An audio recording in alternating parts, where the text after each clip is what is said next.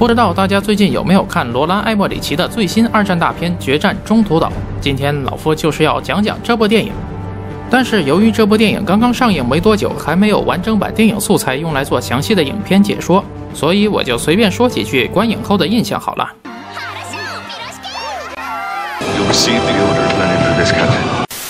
首先，这是一部难得的美国拍摄的中途岛战役电影。作为这场战役胜利的一方，美国好像真的没怎么拍过。当时他们的对手日本，从六十年代开始就拍中途岛战役，都快成了黑木耳题材了。所以，对于这部《决战中途岛》来说，我还是很期待的。光是从电影上映前的预告片就能看出来，这是一部大制作。貌似导演罗兰·艾默里奇很想用全景式手法展现美日太平洋战争爆发到中途岛逆转乾坤的来龙去脉。不过，这里的全景式指的是导演有点事无巨细的把所有历史事件用极其容易被人理解为流水账的方式罗列一遍，其中就包括偷袭珍珠港、企业号袭击马绍尔群岛、轰炸东京、中途岛海战等著名战斗。没错，连轰炸东京都在电影里出现了，而且我发现吉米·杜立特的扮演者居然是艾伦·艾克哈特，所以这部电影应该改名为美版《建军大业之太平洋陷落》。等等，好像没有杰拉德·巴特勒，所以还是算了，等到《天使陷落》里再找他算账吧。What the fuck do you know about it? 电影中的主要角色几乎都是历史中真实出现的人物，但是他们的数量有点太多了。当然，我并不是反对拍历史群像。实际上，罗拉·艾默里奇其实最善于用群像表现影片的世界观，或者至少那是他使用的最多的手段之一。所以，你能在电影里看到一切能想象到的角色，上至尼米兹、哈尔西、山本五十六，下至布鲁诺·盖多、迪克·百斯特，甚至那个帮杜立特转移的中国翻译，弄得这部电影就像春节联欢晚会一样，是个人都想上。除了弗莱彻，他成了列夫人，罪无可赦。而且我也花了好长时间才知道，原来百斯特才是这一大群人当中的主角。我的判断在于，电影里还出现了百斯特的老婆和女儿。按照艾莫里奇的一贯尿性，电影主角一定得是个不着家、不怎么关心孩子的渣爹。很多人对这部电影的评价褒贬不一，有人认为这是一部内容过于分散、叙事平庸的电影，剧情上的跳跃性太强，缺少对整体的把控。也有人指出，这部电影很好的还原了一些鲜为人知的历史事件，对于太平洋战争初期航空作战、情报作战有比较硬核的重现。作为一个拥有史实情节的观众，我很能理解这部电影褒贬不一的评价。就像这部电影试图还原的历史一样，充满了各种纠结。看电影的时候，我曾经告诉自己，这是一部基于历史真实事件改编的电影。就比如空袭马绍尔群岛那场戏，电影中既真实还原了勇敢的机械师临危不惧用后座机枪击落九六陆攻的一幕，又莫名其妙的多出来一艘金刚级战列舰被 VT 六雷击的奇幻场景。我猜电影本身也很纠结自己到底应该怎么还原历史，所以有很多硬伤，而且这些硬伤还不是为了主线剧情的需要做出的妥协，更像是电影本身功课没有做足。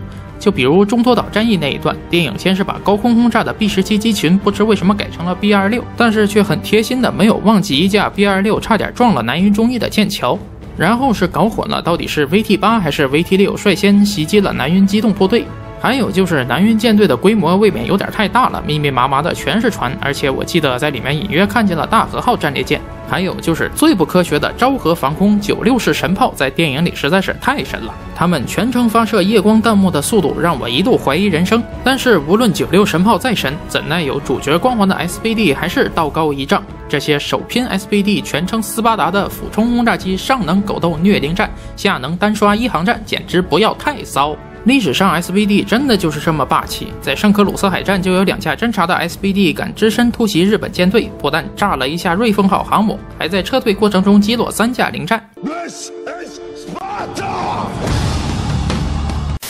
最后再来看一些瑕疵好了，你也许会觉得这是鸡蛋里挑骨头，但是说来也无妨，趁着我还能想起来。首先是林赛指挥的 VT 六降落企业号的时候，他们是挂弹着舰的。然后鱼雷突然脱落了，差点炸死所有人。就算那些鱼雷就像电影中吐槽的那样根本炸不响，林赛他们也不能挂弹降落，因为万一炸了呢？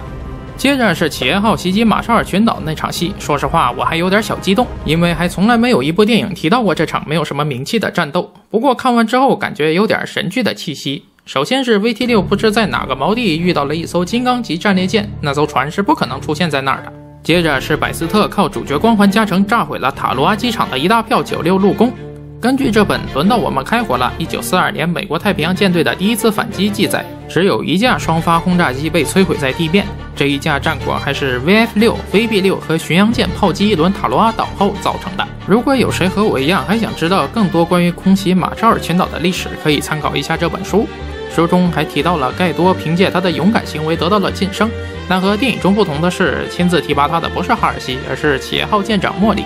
空袭东京的时候，电影还忍不住给杜立特安排了一段慷慨激昂的战前动员。我认为这比《珍珠港》里面的相同场景还扯淡。至少《珍珠港》里面是杜立特在挑选志愿者的时候，一边说着大词儿，一边说愿意参加的向前一步。而这部电影里，艾伦·艾克哈特在他们都站在大黄蜂号甲板上了，眼看就要起 飞了。他还有闲心一边说着大词儿，一边问：“有谁想要退出吗？现在退出是不是晚了点？